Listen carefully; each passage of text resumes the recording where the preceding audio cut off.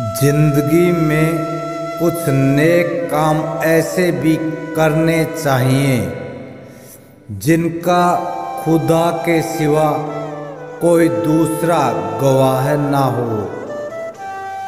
आदत बदल सी गई है वक्त काटने की। अब हिम्मत ही नहीं होती किसी को अपना दर्द बांटने की। झगड़ा तब होता है जब दिल में दर्द होता है और दर्द तब होता है जब किसी से प्यार होता है।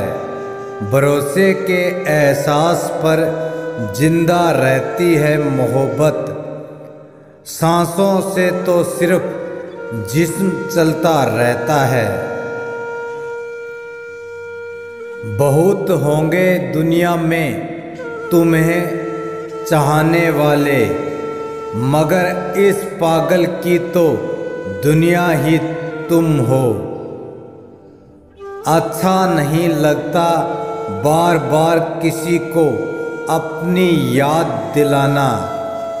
अगर अहमियत होगी तो लोग खुद याद कर लेंगे। यकीन मानो अगर सामने वाले के दिल में आपके लिए मोहब्बत होगी तो खुद ब खुद कबूल कर लेगा। बस आप इतना करना कि आप जो भी उसके लिए महसूस करते हो, उसके विपरीत बोलने की कोशिश करना।